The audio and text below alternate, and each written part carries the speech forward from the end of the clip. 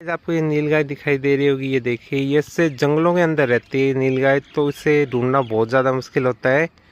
तो ये देखिए, ये नीलगाय है और आप देख सकते हो। तो गाइज़ मेरी वीडियो को ज़्यादा से ज़्यादा सब्सक्राइब कीजिए, इसे वीडियो में लिख के आता रहता हूँ।